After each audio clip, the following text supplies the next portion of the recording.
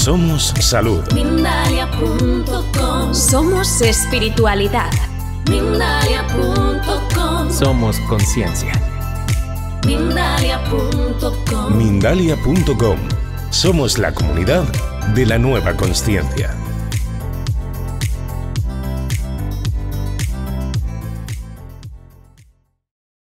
de Mindalia Televisión, mindalia.com, esta vez en Instagram. Vamos a hablar con, eh, vamos, a hablar de salud mental y todos los tabúes que hay en relación a esa salud mental, un tema que interesa a muchísimas personas y te invitamos a ti también para que puedas eh, participar con nosotros con tus preguntas y puedas también con tus inquietudes y tus aportaciones. Y también para hablar con nosotros vamos a invitar a Verónica Soliño, que estamos invitando ya a ver si eh, puede, puede incorporarse cuanto antes. Aquí la tenemos en bioneuroemoción y es especialista en adicciones y PSIC-K, intervencionista familiar por la ICANRC y formada en PNL, terapia sistémica ICI para la atención al suicidio. Lleva más de 15 años acompañando a procesos eh, vitales. Bueno, vamos a ver si la tenemos por aquí y podemos eh, charlar con ella. El, el tabú de la salud mental, tú me escuchas bien y me ves bien. Yo también te Sí, escucho. Si bajas un poquito tu, tu celular, te veo me- mejor. Esto es mucho mejor. Y a ver, háblame si te escucho. A ver cómo te escucho. Hola, ¿me escuchas bien? Sí, Además, como no se puede hacer un previo siquiera todo esto es a saco, pues nos pilla a, a todos muy vendidos. Así de naturales que somos. El tabú de la salud mental. Ya que estamos hablando, esto podría colaborar con la salud mental, nos pone muy estresados cada vez que entramos en un directo en Instagram. Todo, todo lo que callamos. Eh, vamos a, a hacerte nuestra primera pregunta, eh, si te parece, porque tengo muchas preguntas en torno a todo lo que tiene que ver con, con este tema. Y eh, me gustaría saber, evidentemente, vosotros que estáis al otro lado también y estáis viendo en este momento este directo, también podéis contribuir con vuestras preguntas, sean las que sean, e resolverlas nuestra invitada en, en este icono que aparece debajo de nuestras pantallas, en el que hay una interrogación, ahí podéis hacer vuestras preguntas. Mi primera pregunta para ti es, ¿cuáles son los prejuicios más comunes que se encuentran en torno a la salud mental? Pues mira, normalmente eh, hay muchos, muchos y variados. Sí es cierto que eh, últimamente y, y en gran parte gracias a las redes sociales se habla ya mucho de muchas cosas. Se habla libremente sobre la depresión, sobre la ansiedad, sobre los trastornos bipolares. Pero sí yo creo que hay un tabú o algo que da muchísima vergüenza y que todavía no está mm, generalizado y se habla libremente, que son los pensamientos suicidas que es algo que está ahí muy presente, que hay una gran vergüenza y un gran secretismo eh, alrededor de ellos. Y sin embargo, para que te hagas una idea, en las estadísticas del 2022 se murieron 4.000 personas por suicidio en el año pasado. Es- Eso es casi 11 personas al día. Y no se habla sobre ello. No, no hay eh, no hay tanta, como te diría, tenemos tips para la ansiedad, tenemos tips para un montón de cosas, para la depresión, cómo hacer esto, cómo, pero sobre eso no se habla. Y creo que hay mucho prejuicio porque las propias personas lo viven con mucho secretismo y con mucha vergüenza. Y creo que es algo muy importante a lo que deberíamos darle voz, a algo a lo que deberíamos poner nuestra atención y, y, dejar intentar que solventar esos prejuicios, ¿no? Esa vergüenza, ese secretismo, ese ocultar que tengo ese tipo de pensamientos y, y ayudar a la gente a dar voz a esto, porque realmente ese tabú y ese prejuicio se solventa cuando damos voz, cuando damos espacios para que la gente pueda expresarse y pueda sentirse escuchada, que es lo importante. Bueno, Verónica, eh, yo he abandonado todas mis preguntas, las quito de mi mente. Sé que mi mente además no es local, no está aquí, eh, de algún sitio la quitaré. Por eso el humor contribuye a no darle demasiada importancia a todas esas voces que aparecen y dices, bueno, te está hablando una persona que hace a, a escasamente un año, que soy yo un servidor, estuvo, estuvo dos años seguidos, eh, día a día, minuto a minuto, teniendo ideas recurrentes de suicidio. No me suicidé porque eh, mi última célula, aquella que estaba en algún lado, dice, no me mates, por favor, no me mates. y decía, por la última célula que tengo en el cuerpo, hoy no lo hago. Pero una grave depresión, ansiedad, ansiedad, depresión somatizada, una cosa extrañísima. que repercutió y me cambió la vida por completo y no se lo deseo a nadie. Es un buen camino, es una buena experiencia bajar a los infiernos varias veces, pero mientras que se baja, mm, difícil. Y en la bajada, muchos días, completos días, diciendo suicídate, el mejor camino es el suicidio. ¿Cómo podemos identificar las señales de advertencia del suicidio en amigos o familiares. Importante creo que es saber esto para poder detectarle. Decía que arrojo todas mis preguntas que tenía preparadas a la basura. Vamos a hablar de suicidio, ¿vale? Vale, perfecto. Fíjate, la pregunta es súper interesante porque, como te decía, hay muy pocos, e, eso no se escucha habitualmente, ¿no? ¿En qué me tengo que fijar o cuáles son las señales de alarma? Mira, hay, señales verbales y no verbales. La señal verbal, evidentemente, es cuando las personas están diciendo no puedo más, no puedo seguir así, eh, no me gusta mi vida, eh, esto es un infierno, esto nunca se va a acabar. O sea, hay gente que realmente lo expresa y lo verbaliza. El tema es que le quitamos importancia a lo que dicen y empezamos a decir no exageres, no es para tanto, ¿de qué te quejas tú? Fíjate en y empezamos a poner ejemplos, ¿no? Entonces lo que estamos haciendo es despreciando lo, que está sintiendo en ese momento. Eh, luego hay eh, otros eh, tipos de señales como pueden ser, me empiezo a descuidar de mí mismo, me aíslo, esa es la primera, empiezo a aislarme. A ver, parece que se ha ido la señal en un momento determinado y recuperamos. Bien, he recuperado tu señal, se me acaba de ir la señal, eh, pero intento recuperarla, Verónica, a ver si la tenemos, esa señal. Verónica, espera que se quedó, se quedó colgado todo esto y ahora he recuperado. Estabas diciendo que aislarse, te quedaste por ahí eh, hasta la última eh, palabra que pude comprender. Vale. Entonces nos aislamos, empezamos a no disfrutar de cosas que antes sí disfrutábamos, empezamos a comer mucho o dejamos de comer, no dormimos o dormimos mucho. Empezamos además a, eh, muchas veces, y mucho cuidado con esto, son esas despedidas un poco extrañas. Cuando empezamos, eh, un día nos vamos o, alguien se acerca a ti y te dice te quiero mucho, gracias por todo, eh, no te olvidaré nunca. Ese tipo de señales que, ¿para qué me dicen esto? ¿no? ¿Para, por, qué me está, ¿Por qué se está despidiendo así, de esta manera? En adultos también es muy habitual empezar a repartir bienes a hacer eh, herencias, a hacer cosas de este tipo. Pero en general lo que hay es una apatía, es un aislamiento, es un dejar de disfrutar de la vida, es dejar de compartir. Me he desconectado de todo, ya no disfruto con nada. Y, en ese, y ahí hay mucho dolor, mucho sufrimiento y mucho desasosiego. Entonces, eso, eso hay que atenderlo. Cuando las personas empiezan a decirte que están hartas, que no quieren seguir viviendo, que la vida es un asco, o, voy a utilizar una palabrota, la vida es una mierda, ¿vale? Cuidado con esas señales porque son importantes.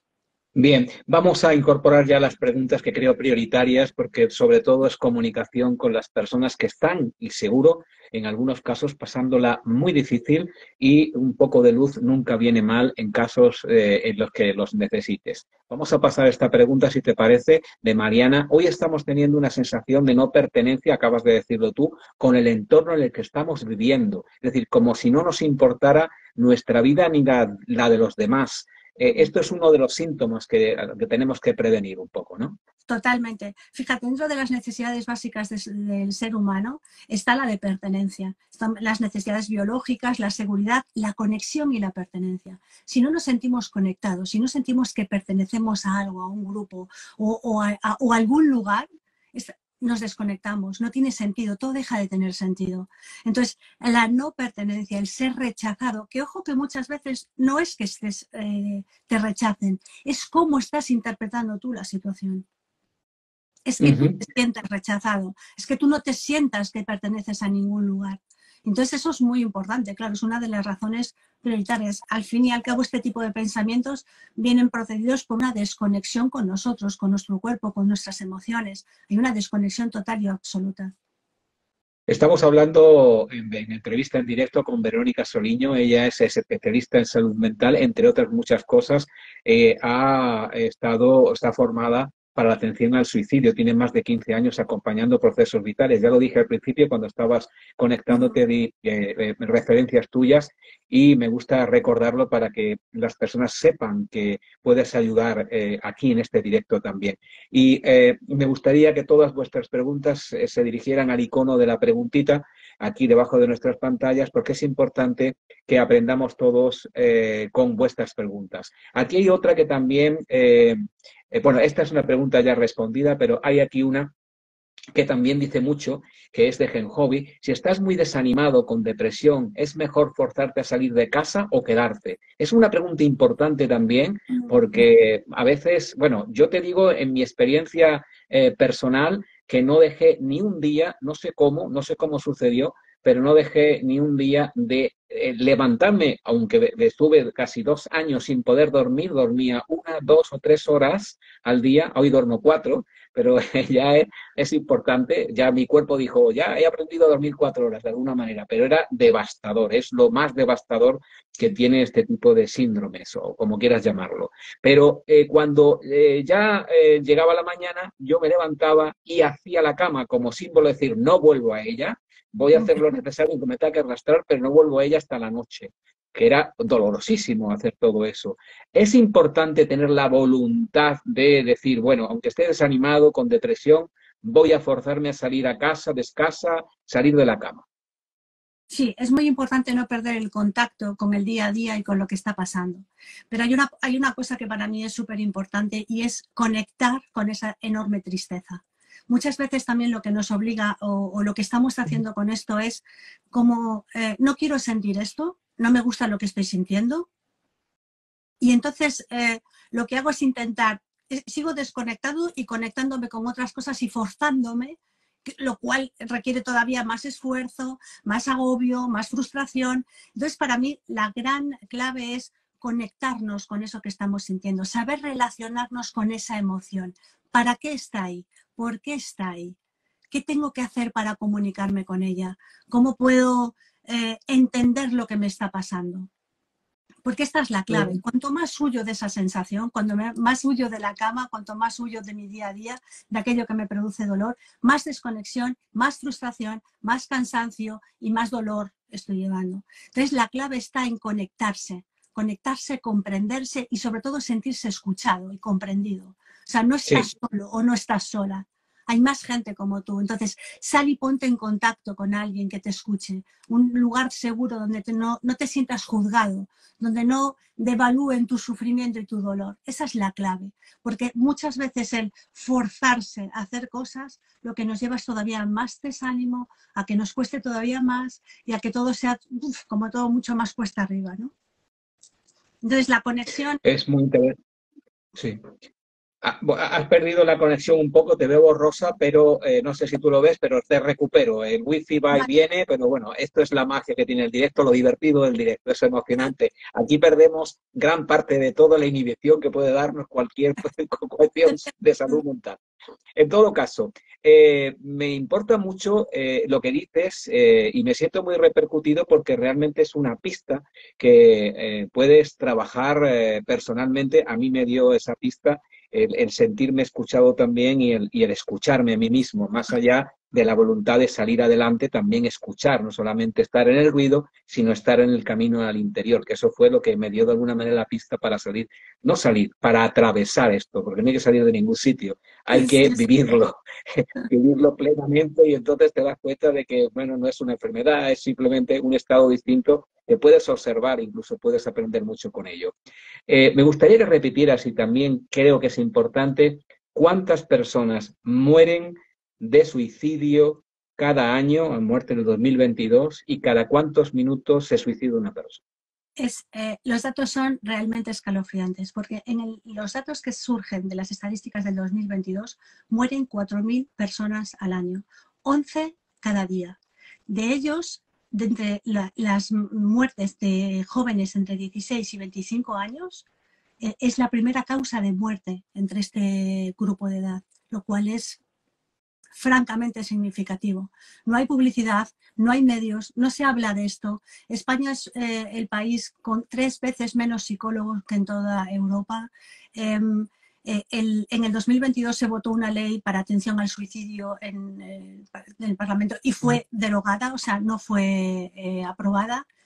Y, y, no se habla, salvo honrosas excepciones, que hay plataformas en las que sí se esfuerzan por hacer público esto y por dar apoyo y por dar voz y por dar soporte a este tipo de pensamientos, pero si no hay mutismo total y absoluto, lo cual me parece, por eso yo hablaba, ¿no? Es un tabú. Tú quieres eh, poner un, un, reel en Instagram o cualquier tipo de publicidad y tienes que estar eh, cambiando las letras para que no te lo veten, para que no se hable, para que no se haga. Y claro, que nos quedamos un poco eh, en el vacío, ¿no? En, tierra de nadie. Podemos hablar absolutamente de todo menos este tipo de pensamientos. Hablamos de los pensamientos positivos, hablamos de los pensamientos intrusivos, hablamos de un montón de tipos de pensamientos, pero ¿qué pasa con estos? Están ahí, son reales y se mueren 4.000 personas al año. 4.000 personas en, España. En España. Esto es, en España. Vaya a pensar las personas eh, que nos están viendo y escuchando que es en el mundo entero. 4.000 personas solo en España se mueren ah, por suicidio al año. Ah, deciden abandonar este lugar físico e irse a otra, a otra dimensión. Bueno, ah, los datos hablan por sí solos. Pero hay algo importante dentro de lo que es la salud mental, vuelvo a lo genérico, que te lleva muchas veces a este estado gravísimo de decisiones, que es eh, esta pregunta que te voy a poner y a, poner a poneros a todos vosotros. ¿Cómo notar que alguien que está a tu lado está deprimido o tal vez inconscientemente ahora aprovecha la depresión para llamar eh, o para lograr cierta atención? porque a veces se confunde esto, dice, este es que quiere llamar la atención, este es que se hace el bueno. Eh, y esto confunde muchísimo y hace mucho daño también es lo que hablaba antes, ¿no? Eh, eh, es una manera de llamar la atención, si se suicidan son unos cobardes, si realmente quieren hacerlo ya lo harían, no le dan publicidad, lo que están, cuidado con eso, ahí hay muchísimo dolor, ahí hay muchísimo sufrimiento, no minimicemos el riesgo ni el sufrimiento de esta gente. Atención, ¿cómo prestamos atención? Lo que hablábamos antes, ¿cuál es, el diálogo exterior que, prolifera, ¿no? Lo que hablábamos antes, hay ideas de desasosiego, de desánimo, de eh, ya no quiero estar aquí, nada le divierte, nadie le aburre, se aísla, sobre todo el aislamiento, ha dejado de hablar, eh, está triste todo el día, no disfrutamos de las cosas que cotidianamente sí lo hacíamos antes, no minimicemos esto. Eh, si está llamando la atención o no, es preferible que en un momento determinado se diga, ya, pues era simplemente... y de todas maneras, cuando una persona llama la atención de esa manera, es que algo pasa sigue estando pasando algo, o sea, da igual lo que sea. Prestemos atención. O sea, escuchemos a esa persona, no eh, infravaloremos lo que nos está diciendo, ¿no? No, no, le quitemos eh, importancia porque la tiene, sea lo que sea lo que le está pasando, lo está interpretando de esa manera, está, tiene un pensamiento, ese pensamiento le está generando una emoción y esa emoción le puede llevar a tomar medidas desesperadas, con lo cual escuchemos, seamos empáticos. Porque es, es, es, eh, es, muy, muy, muy importante lo que dices. Vivimos en la sociedad en la que nadie quiere escuchar a nadie. Es más de un minuto de atención ya no te presto, eh, vamos, incluidas todas las redes sociales. Y por otro lado, la muerte, que siempre ha sido un tabú para el ser humano, aislada por completo de nuestra vida a diario, cuando todos nuestros ancestros asumían esa muerte y la eh, reverenciaban, incluso a sus seres más queridos eh, los eh, tenían muy cerca cuando pasaban a la otra dimensión. Pero en los medios de comunicación es curioso, y esta mi pregunta va dirigida en ese sentido. nos están escupiendo todos los días a la cara las muertes, las guerras, los asesinatos, las violaciones, pero nadie habla de suicidio. Nadie habla de este tema que quieren obviar. ¿Por qué tanta guerra y tanta muerte y se habla tan poco del suicidio? ¿Cómo pueden, y esa es mi pregunta, los medios de comunicación informar sobre el suicidio de manera responsable? Mm, es muy importante eso que acabas de decir. La clave es hacerlo de manera responsable, porque sí hay cierto que hay, eh, sí es cierto, perdón, que hay un movimiento, una, eh, lo que sucede con el suicidio es el copycat o el Weber, ¿no? Que es el efecto imitación. Hay que tener mucho cuidado cuando se habla de suicidio, porque lo que sucede es que, eh, bueno, hace mucho, hace muchos años, por el tema de una novela de Goethe, en la que el protagonista sufría de amor no correspondido, se suicidó y entonces se produjo un efecto que ese libro se convirtió en un bestseller y muchos de sus eh, seguidores lo que hicieron fue suicidarse de la misma manera. Entonces, contra eso también está el papageo, ¿vale? Que es eh, el protagonista de la eh, flauta mágica que ocurre exactamente lo mismo, pero gracias a tres personajes de esa misma historia, acaba encontrando el sentido de la vida, se siente apoyado y entonces decide no suicidarse. Entonces creo que la comunicación en los medios e incluso en las redes sociales es súper importante, cómo se haga de manera responsable, abriendo espacios, sosteniendo esa comunicación, que la gente tenga, encuentre lugares donde pueda ir y compartir este tipo de pensamientos. Esa sensación de no estás solo, no te estoy juzgando, comparte, si te he escuchado. Y eso es fundamental para este tipo de situaciones. Lo que comentaba es que muchas veces los medios se amparan en este tipo de, ah, no, porque podemos eh, provocar un efecto de imitación, pero nos olvidamos que también está lo otro y al final esto lo que está encubriendo es una incapacidad y una negligencia por parte de los medios de cuidar, salvaguardar y proteger a las personas, que es lo que tienen que hacer. Y luego tenemos otro, otro contrapunto que apunta precisamente escritura consciente, que es el nick que está utilizando en este momento, y te pregunta esta, esta cuestión. ¿Qué espacios seguros, entre comillas, crees que hay fuera de terapias públicas o privadas? Porque luego tenemos ese contrapunto, es decir, estamos con una depresión, una ansiedad, con una cuestión que ni comprendemos o con ideas recurrentes, algo así, porque son recurrentes, no porque nadie esté loco, cuidado con la locura, ideas recurrentes que tenemos todos, por cierto, al cabo del día, eh, y eh, decimos, bueno, vamos a ir al psiquiatra, a mí me pasó, vamos a ir al médico a que nos dé qué, pastillas de qué. Eh, y esto, por eso te pregunta, ¿qué espacios seguros hay fuera de estas terapias que están a uso? La verdad es que no es fácil. Sí es cierto que hay, eh, hay un número de teléfono que es el 024, que es atención al suicidio. Vale, luego normalmente eh, también puedes llamar al 112 o al 061. Hay teléfonos también 717-003-717, que es el teléfono de la esperanza. Vale, y luego hay personas que están especializadas en este tipo de eh, tratamientos. Claro, no son, o son privadas o son gente que se dedica a eso, pero no es fácil efectivamente encontrar espacios, sobre todo esto, donde seas escuchado, porque tú muy bien dices, tú vas al psicólogo, los psicólogos hoy en día tienen 20 minutos para atenderte y como mucho te atienden dentro de tres meses si tienes suerte y si no te ven dentro de seis. ¿Qué pueden hacer en ese espacio de tiempo? Medicarte para intentar paliar. ¿Pero eso significa que estemos yendo al, al problema? No, lo que lo estamos es anestesiando. Entonces la clave la clave es poder encontrar un sitio y eso es muy personal y eso es muy de, conexión y una vez más, ¿no? El encontrar a alguien, el que tú vayas a un sitio y te des cuenta que te están escuchando, que, están, eh, que no te están juzgando y que están intentando que tú compartas y comprendiendo y haciéndote sobre todo conectar con eso que estás sintiendo. ¿Por qué estás triste? ¿Dónde nacen esos pensamientos? ¿Cuál es la razón de que estén ahí? ¿Qué necesitas ser atendido que no estás atendiendo y que estás huyendo? ¿no? Porque realmente en el pensamiento suicida no hay una intención de quitarse la vida, hay una intención de dejar de sufrir. Si tú tienes, si tú tienes alternativa, no quieres morirte, lo que quieres es eliminar ese dolor. ¿Dónde nace ese dolor?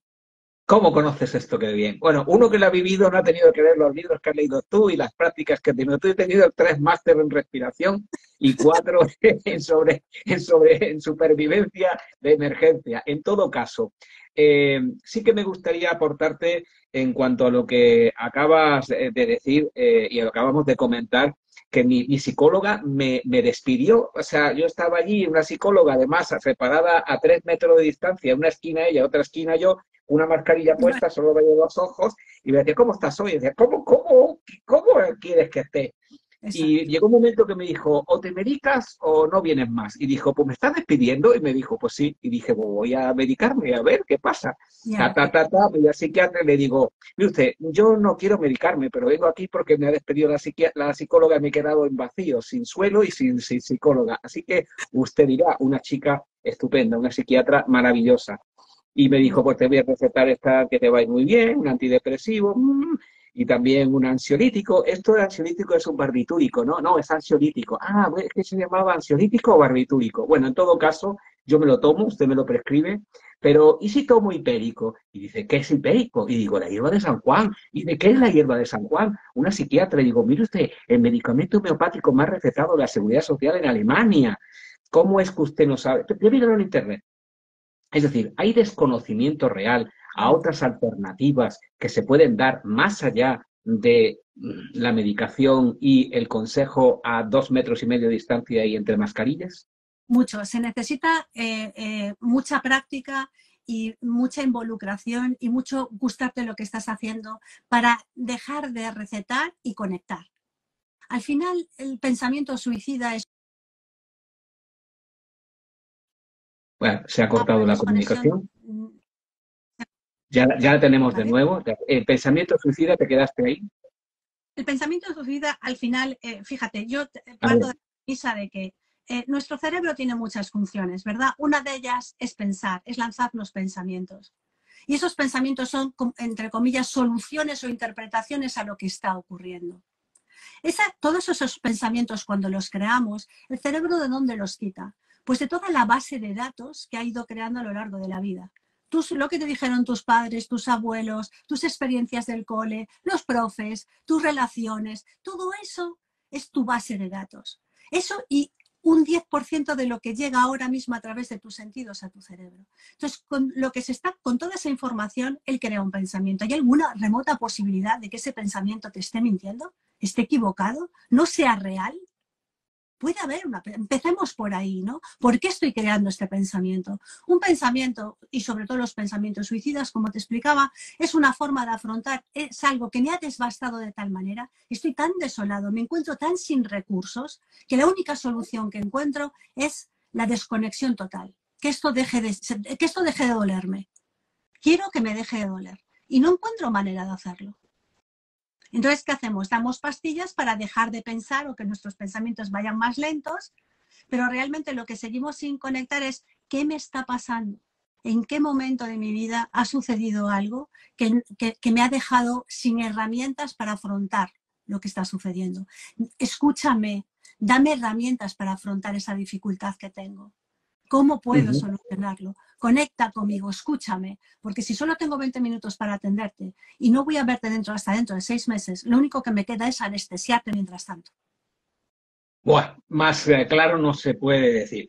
Ah, bueno, em, la, idea de todo esto que tiene que ver con el suicidio, de lo que estamos hablando con Verónica, que es especialista precisamente en este tipo de sucesos, em, y de acompañarlos y de aconsejarlos, tiene que ver mucho también con la gente joven. La gente joven que de todos estos suicidios, 4.000 al, al, al año en solo en España, hay muchos que son eh, personas jóvenes, ¿no, Verónica?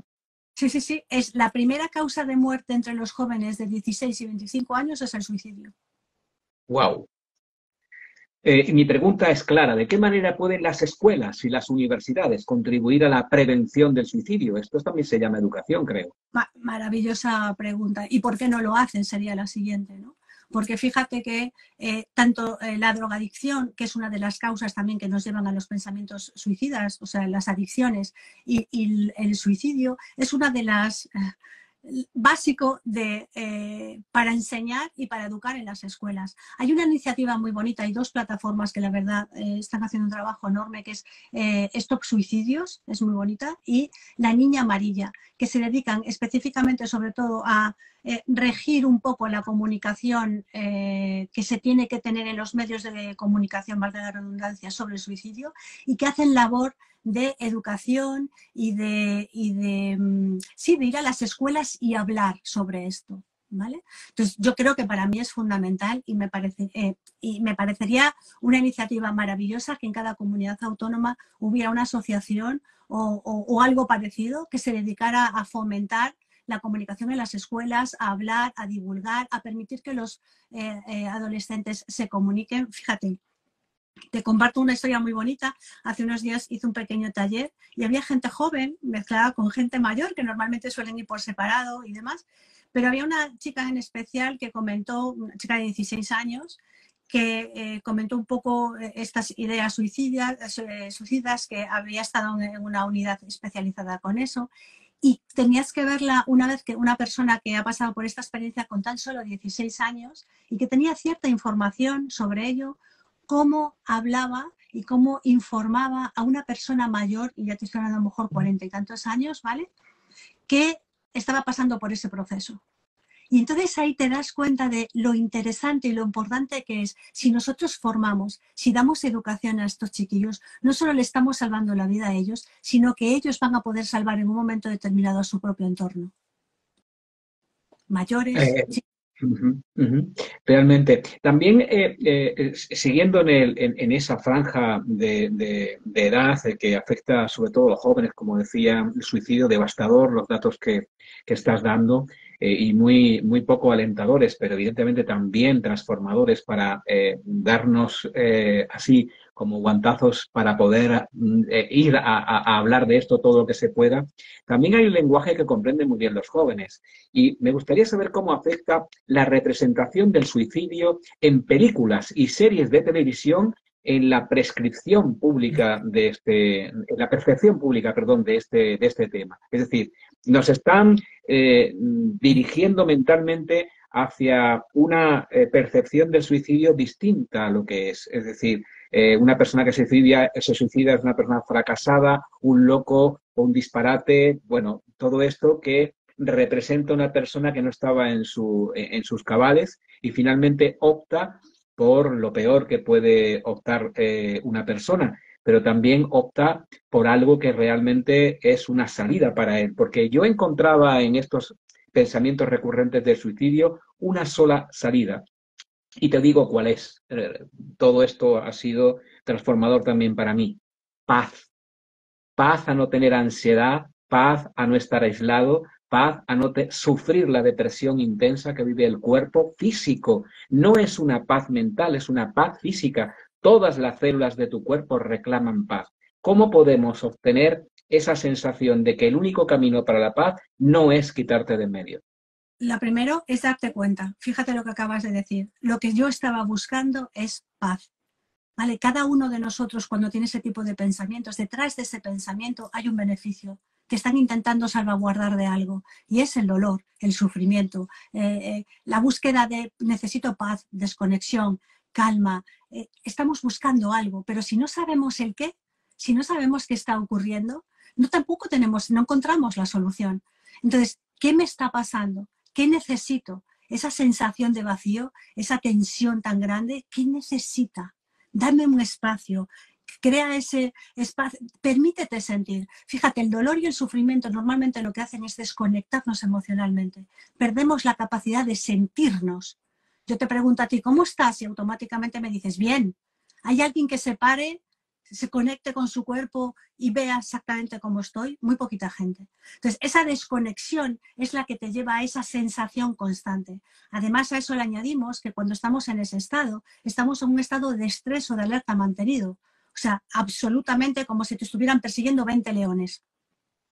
¿Cómo está tu cuerpo? En tensión, agotado, el nivel de cortisol por las nubes. El cortisol, todo lo que acaba en itis, dermatitis, mm, eh, colitis, eh, es culpa del cortisol, ¿no? El responsable es el cortisol. Estamos en un desgaste físico enorme. Las defensas llega un momento en que bajan y eso no lo aguantan. Entonces, la generalización, el estado general es tan desagradable, es tan frustrante, es tan agotador, que lo único que tú buscabas o que necesitas es paz. ¿Y cómo la encuentro? No te preocupes, dice tu cerebro, yo te doy la solución. ¿Sabes cómo dejas de sufrir? Así. Sí, eh, pero yo encontré la solución. Si me permites aportarte la solución. me recorrí toda la medicina alopática del mundo y me recorrí toda la medicina integrativa, mira que conozco y que estoy desde hace mucho tiempo en ello. Y me puse desde gorros para conectar con extraterrestres hasta pacté con sangre de psiquiatras, bueno, en fin, recorrí todo el mundo, todos chamanes. Y finalmente encontré la solución. Cada célula de mi cuerpo estaba queriendo suicidar, suicidarse menos una que decía, no, por favor, a mí no, a mí no. Hay que empezar por el cuerpo físico. No pueden estar dándonos charlitas y charlitas sin empezar a autocuidarte y a decir, vamos a parar esta ansiedad de alguna manera. Y lo encontré en cosas sencillas como andar descalzo, darme duchas frías, eh, ir con el ciclo del día, alimentarme bien sobre todas las cosas. Bueno, en fin, y que, me, y que me quisieran y querer. Yo no podía ni sentir una puesta de sol, o sea, era una cosa, mi risa era, un gruñido. Horrible, no, me sentí un extraterrestre. Mm, tuve que ser operado de urgencia porque somaticé todo ese estrés. En fin, fue una locura que todavía conservo secuelas. No puedo eh, eh pensar que estoy loco, pero es que es así, estoy loco. Eh, no puedo sentir, no podía sentir el calor frío en mi garganta, no puedo sentir el lleno vacío en mi estómago, en fin, todo era un no. ahí tienes el nivel de desconexión tan grande que tenías. Sí, sí, sí. Es lo que digo. ¿Y cómo nos conexiona? Pues lo que tú dices, ¿no? Necesito paz, necesito tranquilidad. Bien, entonces primero empieza a buscar aquellas actividades que, ¿sabes lo que pasa? Que tú a ti te pueden decir, mira una puesta de sol, que eso te va a conectar con la vida. Pero tú veías la puesta de sol y veías nada, a ti no te conectaba con nada. Entonces, claro, por eso te digo, el primer paso es, vamos al interior. Tú creo que al principio decías, es una búsqueda ¿no? Fue salirte. Y realmente es al revés, es ir hacia adentro, es conectar, ir a lo más profundo, es conocerte profundamente con tus luces y tus sombras, darle espacio a todo aquello que hasta ahora has estado ocultando porque no te gustaba o porque te dolía o porque te hacía sufrir. No, no, ahora estoy aquí, ahora cojo la responsabilidad y te escucho, te siento, me, vas a hacer llorar al final. no te lo digo en broma, no te lo digo en broma, porque fue, yo creo que la experiencia más fuerte de mi vida, la más ilustradora, la más eh, significativa. Mira que he pasado por experiencias de accidentes que tenían que haber sido mortales de coche, porque un conductor se durmiera y impactaba, impactara conmigo a 120 kilómetros por hora, invadiendo mi carril, hasta otras muchas cosas. Pero en fin, eh, eh, eh, ha sido una vida, está siendo una vida interesante, pero esta experiencia ha sido cuando, con, diferencia, la más impactante en mi vida en todos, en todos los sentidos. Pero ahí encontré el sentido de la vida. Claro, te iba a decir, si me permites, esta es la experiencia que te ha hecho crecer. Esta es la que te ha transformado. Sí, sí, totalmente. Ahora, yo solía pesar el suelo que piso, siempre me, he sido un afortunado, una persona, ¡uy, qué bonito! Pero a mí lo que, el estar desconectado es un rollo, la, la despersonalización es horrible, o sea, sentirte diciendo, estoy aquí, pero en realidad mi mente no está aquí porque sufro tanto que no puedo estar aquí, con lo cual mi mente está por un lado, mi cuerpo por otro. Bueno, en fin, una locura, ¿no? Y fíjate qué interesante es esto, porque hablábamos antes de sentirnos conectados o de sentirnos queridos. Fíjate cuando nos desconectamos. Tú cuando eres pequeño, y te voy a poner un ejemplo, eres, eh, eres pequeño y vienes, imagínate con tus notas, ¿vale? Y, entonces hay frases tan simples que para pero un niño no sabe gestionar, como no te da vergüenza que has suspendido tres, pero tú no puedes ser como, aprende de tu hermana, mira qué bien lo hace, qué tal. Claro, estamos despreciando, desvalorando, no me, no me quieres por lo que soy. Para que me quieras, para que me veas, tengo que convertirme en lo que tú anhelas. Y entonces me desconecto de lo que soy para ser lo que tú quieres que sea. Y ahí empieza todo. Ahí empieza todo. Cosas tan ah. simples como esas. Has puesto un, dedo en, la, gente joven, pero más joven. ¿Cuál es la relación, y también es algo que me interesa mucho, entre el acoso, lo que llaman bullying hoy en día, y el riesgo de suicidio entre adolescentes y jóvenes? Brutal. Volvemos otra vez a qué es el bullying. Te rechazo. No solo te rechazo, sino que te desprecio. No valoro lo que eres te, quito de toda tu identidad, de todo tu amor propio, no te queda nada, no eres nada. Ponte en la situación de un chico de 14 años, todavía por formar, todavía sin capacidad para gestionar grandes cosas que a nosotros nos cuesta hasta con 40. Y de repente llegan un grupo y te, te pega, te humilla, te insulta, te quita todo el valor que tú puedas tener, arrasan con él. No te dejan nada, te rechazan, no eres nada. Y cuando lo comentas y cuando lo cuentas, estás exagerando no te creen. Y probablemente te hagan la pregunta de ¿y tú qué les dijiste? ¿Qué les dijiste? ¿Los provocaste? Imagínate el vacío, el desconcierto. Bueno, eh, ahora mismo se nos fue la conexión de nuevo, pero está ahí, está ahí porque eh, Verónica eh, ahora conectará. Te, te quedaste, te, desconectaste o tu, tu, tu red estuvo floja eh, eh, cuando decías el desconcierto. Fíjate en el desconcierto. La soledad, el vacío, ¿a dónde me dirijo? ¿A quién se lo cuento? Cuando lo cuentas, seguramente te hagan la pregunta, ¿y tú qué les hiciste? ¿Qué les dijiste? ¿Aún los provocaste? Y ahí viene todavía más el por qué no creen en mí, más rechazo todavía.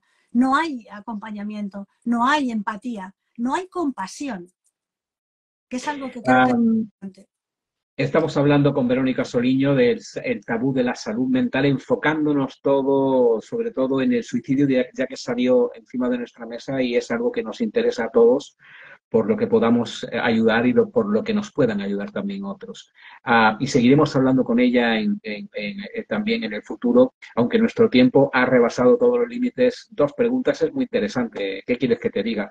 Y creo que hay que darle voz a este tipo de cosas. Y como uno tiene cierta influencia en Mindalia, pues digo, voy a darle un poquito de pasarme por aquí. Eh, así que perdonadme, compañeros, que, bueno, eh, ¿Qué deberían saber los cuidadores y los profesionales de la salud, eh, la salud sobre todo pública, en el sobre el suicidio y la prevención? ¿Hay falta de información, falta de formación? Sí, Mucha, muchísima. Y sobre todo, eh, antes hablamos un poco de los síntomas que teníamos que tener en cuenta, pero también hay factores de estrés a los que hay que poner especial atención, ¿no? Que, por ejemplo, en el caso de dónde pueden empezar a aparecer esos pensamientos porque no sabemos cómo gestionar muchas cosas. Por ejemplo, cuando se muere un ser querido, cuando hay una muerte, los divorcios, las separaciones traumáticas, las adicciones, ojo con las adicciones porque nos llevan mucho a ese tipo de cosas, diagnósticos de enfermedades, sobre todo cuando tienen que ver con la salud y son enfermedades terminales o muy dolorosas o muy incapacitantes, el estrés crónico, el estrés sometido constante. Además, date cuenta de que el estrés eh, llega un momento en que nuestro organismo está completamente sobrepasado, no podemos afrontar absolutamente nada y el pensamiento suicida aparece siempre como una solución. La violencia de género, cuidado con estas situaciones, el bullying, ¿Vale? Entonces, no solamente es nuestros comportamientos, sino situaciones que se dan a veces en el día a día que nos pueden llevar a esas situaciones. Ojos que si hay estas situaciones en nuestro hogar o cerca o personas cercanas, prestar atención. No minimicemos eh, lo que están diciendo eh, nuestros hijos o nuestros parientes cercanos o nuestros amigos. Prestar atención a estas señales y buscar apoyo, ¿no? Crear una red de apoyo, una red de seguridad, buscar algún sitio donde se puedan sentir acompañados Ojo con esos teléfonos, el 024, el 717-003, voy a insistir, 717, que es el teléfono de la esperanza, ¿vale? Y, eh, plataformas, por ejemplo, en Instagram como Stop Suicidios. Creo que hay cosas que se están haciendo bien, fomentémoslas. Eh, y última pregunta para ti, Verónica. ¿Cómo podemos superar, cómo podemos superar las barreras culturales y sociales que impiden que las personas busquen ayuda para problemas de salud mental o pensamientos suicidas en este caso? ¿Y cómo podemos contribuir a una sociedad más comprensiva y abierta donde hablar sobre el suicidio y la salud mental no sea un tabú, sino un paso más hacia la sanación y también el apoyo mutuo? Mira, la comunicación, lo que estamos haciendo ahora mismo, hablar abiertamente de esto, es súper importante. El suicidio va acompañado de secreto, juicio y mucha vergüenza y culpa. Son sus ingredientes. Y la vergüenza es transgeneracional. Hasta 1983 a la gente que se suicidaba no se la enterraba en un cementerio. Es una vergüenza suicidarse. Nos suicidamos y entre las familias se dice, no lo cuentes, que es una vergüenza. Murió repentinamente, fue un ataque al corazón no se cuenta, hay vergüenza, es algo muy cultural. En algunos países es pecado. O sea, fíjate lo profundo y arraigado que está ese sentimiento de vergüenza y de culpa. Entonces, sigue estando ahí presente. ¿Y cómo se rompe con esas barreras de vergüenza, de culpabilidad y de silencio? Comunicándolo, hablándolo, expresándolo. Y para, ahí, para eso los medios, y, en este caso vosotros tenéis una responsabilidad muy importante y un papel muy bonito también, ¿no? Que es, hablemos de esto abiertamente. ¿Por qué no hablamos de depresión? Hablamos lo que te decía, ¿no? Pensamientos positivos, pensamientos intrusivos. ¿Y por qué no estos? ¿Dónde está la dificultad? Si es que la gente necesita saber, necesita expresarse. Realmente es así, Verónica. Muchísimas gracias. No será la última vez que, hablemos aquí en Mindalia Televisión. Hemos hablado ya otras veces de depresión, de ansiedad. Son temas que, bueno, que se intentan escabullir para no darles eh, esa sensación o darles la sensación de que hay mal rollo, ¿no? Pero bueno, se puede hablar con buen rollo del suicidio y de la depresión y de la ansiedad. Yo te voy a aportar a ti, y eh, bueno, a ti no te lo tengo que aportar porque tú ya lo sabrás de memoria, pero yo lo sé de ejercicio vital aportarte a ti que estás escuchando para eso de los pensamientos recurrentes, sobre todo si son de suicidio, te voy a decir que como eh, eh, algunos órganos, pues mira, eh, la, secreción de bilis, pues es lo mismo. Tu cerebro secreta pensamientos, así es que es una, una cuestión natural, de tu propia naturaleza, son pensamientos, no, no, no es más que la bilis, es algo que por naturaleza tu cuerpo secreta. Así es que, igual que tienes una mejor dieta para no secretar demasiada bilis, pues ten una mejor dieta para en todos los casos no secretar demasiados pensamientos que lleguen a invadirte de tal manera que te inflamen física también, incluso físicamente, y termines malito. Malito de atar muchas veces y finalmente te suicides. No al suicidio es la palabra, no porque sea un tabú o esté prohibido, sino porque tú eres valioso, valiosa, único, imprescindible y necesario en este mundo que somos nosotros, porque sin ti nosotros no, no, no existimos siquiera. Ya lo dice la física cuántica. Así es que muchísimas gracias por existir, Verónica Soliño, por estar con nosotros en Mindalia Televisión a través de Instagram y será una próxima ocasión que hablaremos de salud mental, suicidio y todo lo que tú quieras, porque ha sido muy alentador hablar contigo. Ha sido un placer conoceros, me alegro muchísimo de haber compartido este ratito con vosotros, me alegro de conocerte y me ha parecido muy valiente que hayas eh, dado tu experiencia, porque eso también es un paso para animar a la gente a expresarse y a contarlo. Pues muchísimas gracias de nuevo y a todos vosotros por estar ahí. Por favor, vivid, vivid bien, besar el suelo que pisáis, porque es una fortuna vivir. Es, la vida es maravillosa en todos los sentidos, incluso cuando, incluso cuando no te das cuenta de ello, sigue estando y soportando esa vida, porque es el soporte que le das a todo lo que puedas llamar algo superior a ti, que está viviendo en ti y te da ese soporte y te lo regalaron tus ancestros. Solamente por respeto hacia todos los seres sintientes de este universo, tú debes vivir hoy. Mañana ya veremos, pero hoy es una frase que me dio un ser muy querido cuando estaba en el extremo, me dijo, hazlo solo por hoy. Y ahí me quedé, haciéndolo solo por hoy. Y todavía estoy aquí, haciéndolo solo por hoy. Gracias a todos nos vemos mañana, que voy a pasar lista, que no falte ninguno. No se vaya a suicidar a alguien y vayamos a fastidiarla. Hasta mañana y hasta siempre. Gracias. Chao.